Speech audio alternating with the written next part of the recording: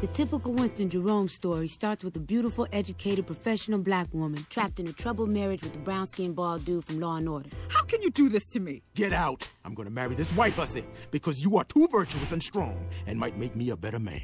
Then, a dude who looks like Shemar Moore shows up as the shirtless, light skinned gardener who just got out of jail. Excuse me, uh, may I rake your leaves? At first, she acts like she doesn't like the light skinned gardener, but eventually she gets to know him and sees a sensitive side.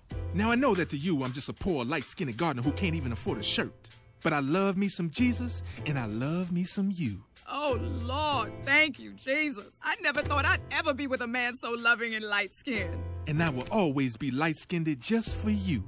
Being a good Christian woman, she gives her marriage one last chance because Jesus said so. I am dark skinned and bald, so I hate you and I hate Jesus. And just when the brown skinned dude from Law and Order is about to hit her, here comes the shirtless gardener. Hold it right there, bald headed dude from Law and Order. The woman and the gardener kiss, having found true love through Jesus.